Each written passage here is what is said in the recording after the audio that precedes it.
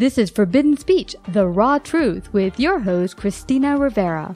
In this Savvy Broadcasting series, we delve into hot topics affecting us all. With cancel culture and big tech censoring any opposing ideas and thoughts outside of mainstream ideology, it has become more important than ever that we tell the raw truth about everything from U.S. world politics, COVID, Christianity, and everything in between. We invite all points of view to come and share their perspective honestly and respectfully. Dr. Dr. Hugh McTavish, welcome to Savvy Broadcasting, uh, Forbidden Speech, The Raw Truth. We're so grateful to have you here today. We're hitting on a, a really interesting topic we've not covered on Savvy, and, and that is a proposal you have that would really restore the power back to the people. That really was what our representatives in the Senate and the governorship and the Congress were supposed to be. They were supposed to be talking on behalf of all the people. It's kind of gotten topsy turvy. Well, now the people in much of the government thinks that uh, we work for them. Uh, don't speak up, little people. Sit down. And even seeing some of the local councils where people come forth and speak, sit down. Your time's over, Mister Nobody. I'm like, have they forgotten that we vote them in and not the other way around? Well, I'm so grateful. Uh, you are the Minnesota uh, governor. Uh, you're going to run for governorship, uh, a candidate uh, for the Independent Alliance Party, and bring forth a wonderful proposal that should hopefully more restore the power back to the people. I'd love if you would share a little bit about your backstory first, and then what prompted you to run, and this wonderful proposal. Uh, thank you. Um, so uh, my my background is well, I've got a got a PhD in biochemistry and uh, a patent law degree. And so I've been a patent lawyer and a biochemist uh, for all my life, or, or, whatever last last since I was since I was 20 or 30 or so. And um, uh, the uh, and along the way, I started two pharmaceutical companies: uh, IGF Oncology uh, with a targeted drug to treat cancer, and Squarex to mm-hmm. with a drug that prevents cold sores. Hmm. And both of those were my own inventions, actually. Uh, uh, and I'm still the CEO of those two companies. And now I'm running for governor of Minnesota. I wrote, I, I wrote, uh, I've written three books. Um, uh, the most recent was COVID Lockdown Insanity, uh, which uh, argues that the lockdown response to COVID was was could be considered clinically insane, I guess, but was the the the that caused vastly more harm than benefits. Uh, Can I stop you real quick? Why do you think the response was like that? Because we've had other such things like uh, bird flu and, and, Queens. We had the Niles West Niles thing where you know that was because I was living in New York at the time back when that happened. What caused the response that we took for this particular virus? Boy, I don't know. It's I mean it, it's fruitful it's fertile ground for conspiracy theories because it makes so little sense that that it really doesn't make sense that the uh, if if the if the real purpose was to prevent COVID deaths, um, then our public officials, our public health officials, and our government officials are just incompetent because mm-hmm. it caused it caused so many. I calculated in my book if the lockdowns prevented 200,000 COVID deaths, which they certainly did not, but uh, mm-hmm. like that'd be a very generous estimate of how many COVID deaths were prevented. Uh, if they, even if they did in the United States, they caused over 300, 300, over 300 people into major clinical depression for every one death we prevented, threw 200 some kids out of school, mm-hmm. uh, and um, uh, and actually killed more people than they saved in. Deaths of despair that we caused with the lockdowns, the suicides, drug overdose deaths, alcohol deaths, mm-hmm. and the other deaths. So uh, it's just not even a remotely close call of whether the harms exceeded the benefits. They vastly exceeded the benefits. Mm-hmm. And um, so, yeah, if if the purpose, it's just hard to explain yeah. uh, uh, why government officials would have done this, would have been so short sighted to, to have done this. Uh, mm-hmm. It's as though um, you know, it, it, it, it leads one to think that the, the depression, the huge increase in depression was so predictable mm-hmm. that either they didn't care about happiness and quality of life, or that was actually the goal. They wanted to get people depressed for some reason. Uh, perhaps because depressed people don't fight back and and uh, uh, are That's more true. compliant. Mm-hmm. Um, so anyway, I don't, I don't know. I, I don't have a good explanation. I don't think they're evil people. I don't think our governors are evil people. I don't think Anthony Fauci is an evil person. But uh, it's it, it's hard to explain why they did this well, you know, it's interesting. I think when you get fearful, you're kind of shut off that reason part of your brain, and and when one part, you know, like say uh, you scream fire in a in a building, everyone doesn't think to see if there is a fire. They're just like ah and start stampeding yeah. each other. Uh, yeah. It's maybe that kind of mindset because you're just so scared that you just start responding and, and acting instead of thinking through is this the best course of action. So I'm glad you wrote the book for people to get a better handle on it. So in the future, God forbid, we have any type of situation like that. We don't just run straight for panic and fear. But now you have a, a wonderful proposition that as the governor, you'd like to present to put power back in the seat of more of the people that they can actually rule on things that would actually make their lives better and have more control. How, what does that look like? And, and tell our audience a little bit about that. Uh, my proposal is called jury democracy, and it is that we would have for every every bill or proposal coming out of government we would call uh, a statistically valid sample of the population, which is five, actually technically about uh, 385 or more. So about 500 or more people randomly selected from all registered voters to come to our state, our state capital, uh, uh, sit and listen to the arguments and evidence from all sides on, on the particular proposal or bill, just as jurors sit and listen to the evidence from both sides in a civil or a criminal trial and um, and everybody gets to present their both sides or all sides get to present their arguments and their evidence. No, no sharp time limits. You got 30 seconds because that's that's the time limit on, on a on a TV ad. yeah. you know?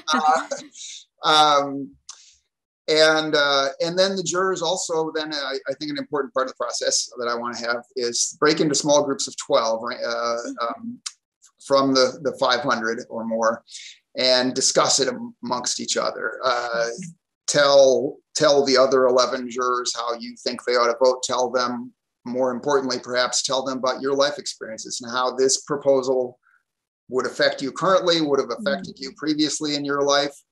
Um, uh, you know, if we're talking legalization of marijuana, for instance, it'd be interesting to talk to, to, to talk to some, for, for those jurors who've never smoked pot, it would be interesting to talk to jurors who have and, and why they did it and how it affected them. Um, and uh, um, so anyway, the, break into smaller groups, discuss it, and then vote by secret ballot. And I would require a 55% majority to pass a proposal, which is mm-hmm. outside the 5% margin of error with 500 or more people. So you're guaranteed that it's at least, if you get 55%, at least you had a majority if we'd been able to, to, to draw everybody into yeah. the so one way to think of that I think about this is what would be the perfect form of the ideal form of government. The ideal form of government, I think, would be basically New England town hall democracy or Greek democracy. Everybody, every citizen sits and discusses a proposal and decides on it. Not a flip opinion, mm. never heard anything about it, but you get to discuss it and, and, the evidence and, and everybody participates and decides on it. Yeah. And the reason we don't do that basically is we've got our lives to live. So we don't have time to consider every proposal. Uh, and it's also logistically impossible to have 350 million people get sit at a Zoom call and go over yeah. um, uh, so we elect representatives to do that job for us, and it's their mm-hmm. full time job to make those decisions for us. But my with my jury democracy idea, we don't uh, I mean, we don't actually have to elect the representatives. We can randomly select mm-hmm. citizens and to do the to serve on a jury on a particular proposal, and you get the same result you would mm-hmm. get if everybody got together and considered the same proposal. Well, yeah, I, I, like the idea of having actual repre- representatives that we vote for that actually go up there and vote on our will. But uh, we've we've not seen that that much of that happen. That people talk the good game, get up there, say all the perfect yum yum stuff. That oh yeah, I love that. I'm going to vote for him or her, and then they get into office and don't do any of it. Um, so it, it's become topsy turvy. Now the only concern I had when I heard this proposal is I love the idea, but I know that uh, as you said, Americans are so busy. They're like, well, you know, I don't have time to sit here and listen to arguments. And if I'm picked, well, d- by darn it, I'm going to try to get out of it because I don't have time to sit there and listen to a bill that could take days and days of my time. I'm not getting paid. Um, how do we get people to realize that this affects your everyday life and it behooves you to want to get involved? Well, I would I would not make this mandatory as we do with civil and criminal trusts. I'm not sure it should be mandatory in civil and criminal juries either, but but for this, uh, I would not make it mandatory. So if you don't want to show up and participate, that's fine. Just as it's your right not to vote. It mm-hmm. just means more power for the people who choose to vote, or more power for the people who choose to show up for the jury. Mm. Um, uh, so I wouldn't make it mandatory. I would like to pay people uh, um, and pay them more than we do. In most cases, I think this should just be probably two days, probably for most things. Uh, mm-hmm. One one day to hear the evidence, and um, even even one day in a lot of cases, but probably in most cases two days. Uh, complicated things, a budget bill that's 500 pages long or something. Yeah. Uh, it might be a couple of weeks or a week or two. Well, uh, that's what I I realized looking at some of the bills is that there some of them are crazy long, like 300 pages, and I'm like, ah. And the legalese is what trips you up. Now, if you have, um, how do you call it, a um, a, a, hearing that comes forth and gives you the evidence, so you don't have to read 300 pages of legalese and not know what the heck you're reading. That would make it better because you're hearing both sides. Um, but do you know why also the bills are kind of complicated and so long when maybe you're talking on a certain issue? Why isn't it like just one page? Why are they so long? Yeah, that's a good question. I think one of the effects of this would be that laws would become less less legalistic because you're certainly going to have a better chance of getting the jury to vote for the law you're proposing, the bill you're proposing, mm-hmm. if they can understand it, than if they can't understand it when they read it. Uh, and also if it's relatively short than if you're asking them to read 300 pages or something and so i think we it, we would get one topic some of the state constitutions i think minnesota, minnesota state constitution has a provision that every bill has to be one topic uh, mm. and that is often ignored uh, and not really enforced by the courts mm. um, because um, I think in part, in large part, the horse trading of politics. So you, we throw in what I want, we'll throw in what you want, we'll lump them into one bill, and we can pass that. So it's kind of like a way to I'll scratch your back, you scratch my back, and we'll both do each other a favor instead of just focusing on what we're here to talk about, the one specific issue. Yeah. You're trying to appease both sides. Yeah. So mm-hmm. I think you'll get to the extent you get that, that B doesn't have anything to do with A. With the jury, you'll just say, um, and that most, that nearly every legislator, let's say, supports A but opposes B, or supports mm-hmm. B and opposes A, and the majority of the population, one way or the other. Um, they should stand on their own merits. And so let's have a vote on A, let's have a vote on B. Um, uh, for instance, one proposal I have in Minnesota is uh, we've got a state law. I don't know if other states are like this that that police officers and all public employees to fire or discipline them, uh, the discipline has to go to arbitration. And so it's a problem. It's a problem for police officers because we basically can't fire and discipline any cops. The arbitrators overturn everything almost. Mm-hmm. They mm-hmm. re- literally, really have to be charged with murder or manslaughter to be fired. Wow. Uh, um, so I would change that to make that at will and uh, mm-hmm. have the police commissioner and probably the mayor and city council each have the authority to fire or discipline police officers however whenever they want make make police officers at will employees uh, mm-hmm. bargain for um, well honestly i think whenever you're whatever job you're doing whether it's teacher police officer corporate worker if you make a mistake, you should be held accountable for the mistake itself and given reasonable, um, you know, punishment for it. And that doesn't mean you get off scot free. If you make a mistake, you, you know, whatever the punishment might be for whatever um, mistake you make. Um, so I think that's a great idea because you shouldn't get total immunity just because you happen to be a, a cop. Yeah, yeah. And, and so so on cops my view is it's not so it's not really that we need more or fewer cops we probably mm-hmm. need more because of the crime it's gone up yeah crime lately lately but mostly we just need better cops Mm. Uh, and we need, and the best way to do that is fire the bad ones. It's not to not to try to retrain the bad ones, send them to another mm. diversity training seminar to teach them. No, you should not beat up black people. or beat up anyone. Period. I've seen a little a kid on the street. It, it, was a small girl. She was white, but they beat her up because he wasn't. She wasn't listening. But I'm yeah. like, dude, seriously, overuse of power, big time. Um, yeah, yeah, but but sorry, the, the, the, tree. Uh, I was trying to I was trying to make a point about horse trading. So yeah, um, the uh, basically neither party really wanted. There was a proposal to eliminate.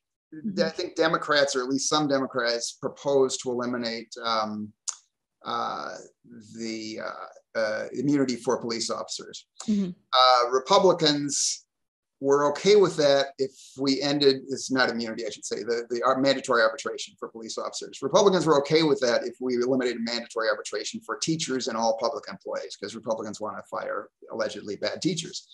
Well that's uh, a separate issue. We should put that on the table another time. First talk about one thing. exactly it's a yeah. separate issue. So the democrats voted i think neither party really wanted to end the arbitration for anybody but the democrats then voted against it because they were not willing to mm-hmm. uh, end arbitration for all public employees. And the Republicans voted against it because they didn't want to end arbitration for police officers. Yeah. So what they, those are separate issues. We should have had a clean bill. Do we end arbitration for police officers or not? We can have another clean bill. Do we end arbitration for teachers or not? And mm-hmm. maybe the third one, do we end arbitration for the rest of the public employees who aren't teachers or police officers? Yeah, or any other government yeah, worker. Any, yeah, any other government worker. Yeah. Um, so anyway, that's an example of, of a bill. Now, what's arbitration mean as opposed to immunity? I thought they were the same interchangeable word. What, what's the difference? Oh no, our uh, immunity means you can't be you're immune. You can't be punished. So ah. Congress people, for instance, have immunity for what they say on on the floor of Congress. So they can't be sued for they can't be criminally prosecuted for what they say on the floor of Congress, and they can't be sued for libel or slander for what they say about somebody on the floor of Congress. Hmm. Um, so that's immunity. Uh, gener- generally would mean absolute. Arbitration means that the discipline goes before, before an arbitrator. So the, your boss wants to fire you, you don't want to be fired. You appeal to an arbitrator who's a supposedly neutral third party, mm. whose job is to be an arbitrator really mm. on police. I, don't know. I think public employee arbitration. And so there's um, uh, uh, so and so anyway, the arbitrator decides. Mm-hmm. But the arbitrator doesn't, for whatever reason, the arbitrators basically won't let you discipline police officers. Mm-hmm. Interesting. Well, that, you know, we put a lot of food on the table, and one thing I have, and we spoke a little bit just before we hit the go button on this uh, chat, was that many will will hear candidates out there that don't fall in the two buckets of blue and red, meaning Republican or Democrat, and say, "Oh, I love what they're talking about. I totally feel that they're on board with what's important to me, my values, and what I want done in government." I just don't feel they're going to get in because they're not one of the two main parties. So I'm just going to vote for the two, two of the lesser evils. And yeah. and I keep thinking, well, that's nuts because then we keep getting the same thing over and over and over again. If we keep saying the the the people who aren't running in the two established main parties, then we just get the same crap over and over again. What what do you have to say about that particular mindset? Uh, yeah, I think that's true. Uh, we've got we've got a what's called a first past the post system in the United States. Britain has it also, where hmm. you um, for each district, we, we lump people, lump candidates into districts uh, or states or the entire, well, we don't really have entire nation, even in the presidential election. But um, uh, if you win your district or, or the with 51% of the vote, uh, mm-hmm. you get 100% of the power. Um, and the person that get 49% of the vote there, the people who voted for them have no representation effectively, and that person, that party has no power. So there's other, other jurisdictions, most of them in the world, really, I think, have proportional representation, where a party that gets 5% of the vote gets 5% of the seats in the mm-hmm. legislature, basically. Um, yeah. And uh, that's studies have shown that's a better system. It's more stable. Uh, um, countries with proportional representation are more stable. They're less likely to have uh, the, the government overthrown, have coup, coups.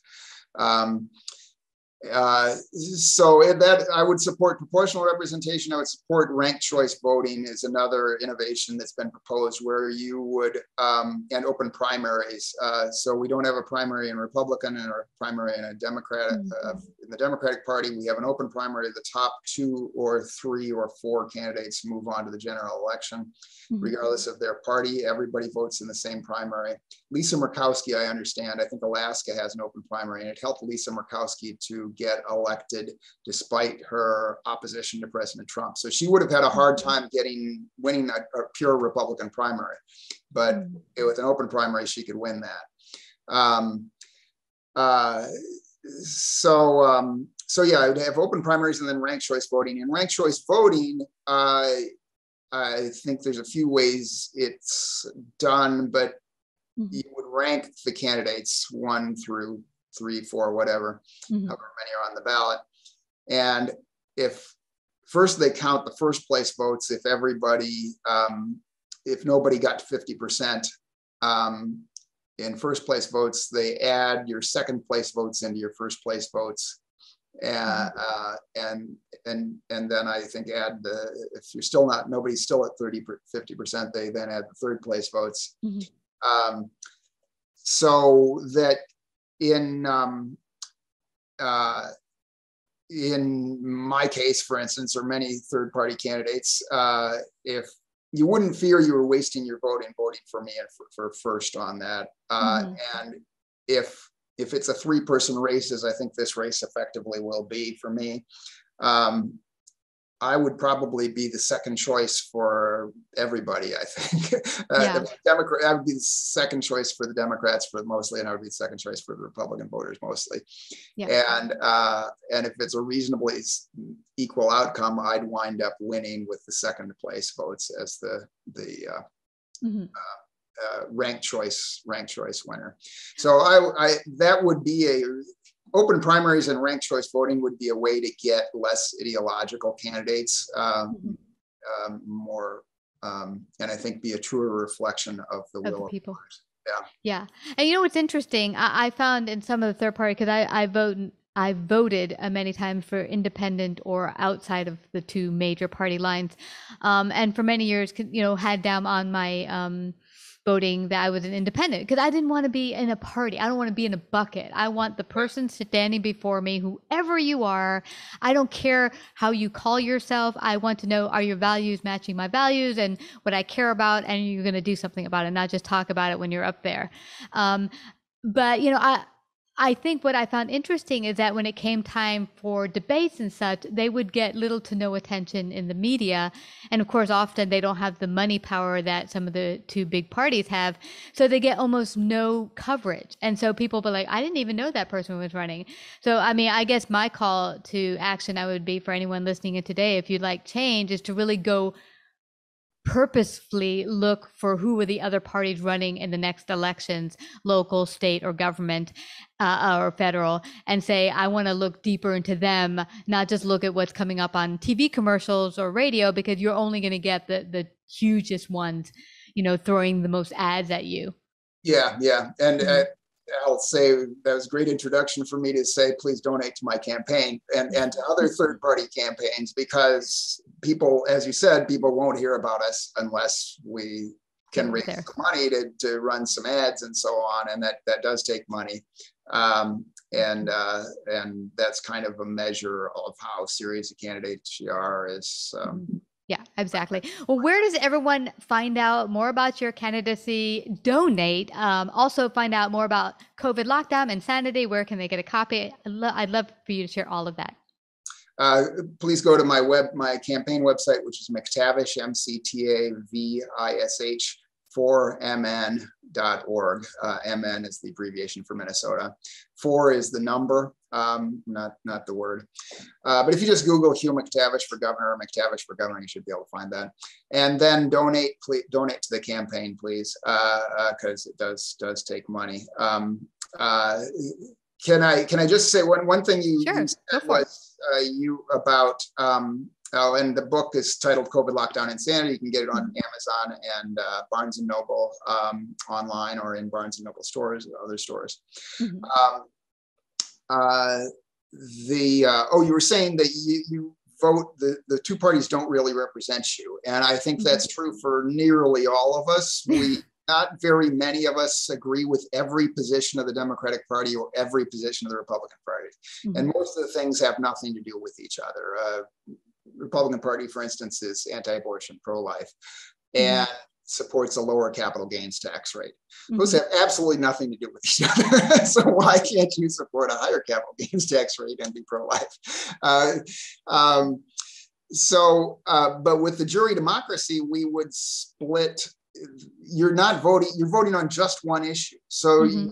And when with the elected representatives, we have to vote for one candidate or another, and you're kind of inevitably holding your nose and saying, agree with candidate A on Mm-hmm. six out of 10 issues. I agree with candidate B on four out of 10 issues. So I'm going to vote for, for A, but I'm not getting what I want on four of the 10 issues I care about.